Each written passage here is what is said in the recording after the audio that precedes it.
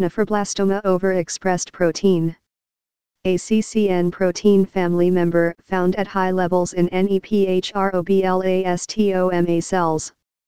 It is found both intracellularly and in the extracellular matrix and may play a role in the regulation of cell proliferation and extracellular matrix synthesis.